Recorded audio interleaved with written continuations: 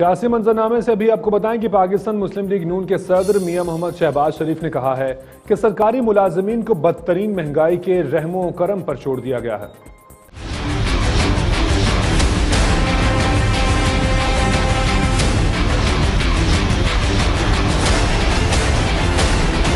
समाजी रबते की website Twitter पर ट्वीट करते हुए लीगी सदर ने लिखा कि सरकारी मुलाजमीन, पेंशनर्स और गरीब आवाम को बदतरीन महँगाई और माशी मुश्किल के रहमो करम पर छोड़ दिया गया है। ट्विटर पर उन्होंने मजीद लिखा है कि अड़सठ साल में पहली मरतबा मुल्क तरक्की की शरह में बदकस्मती से मनफी हो चुकी है। तारीख में इतनी बुरी माशी कारकर्दगी न्याजी हुकूमत के खिलाफ फर्द जुर्म है।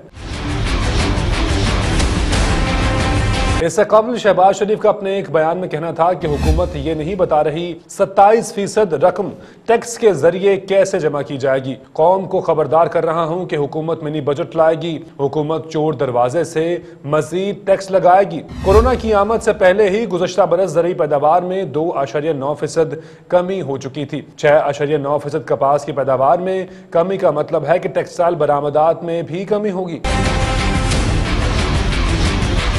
उन्होंने मजीद लिखा है की बजट में गरीब और मेहनत कश तबकात के लिए कुछ भी नहीं है। पी एस डी पी और तरक्की अखराज कहाँ हैं, जिनसे रोज़गार मिले और मुल्क में तरक्की हो? आइंदा साल और भी सख्त और मुश्किल होगा। शहबाज शरीफ ने कहा कि पी एस डी पी की रकम में इजाफा और तख्लीकी प्रोग्राम दरकार थे, ताकि लोगों को रोज़गार मिलता, गुर्बत में कमी आती।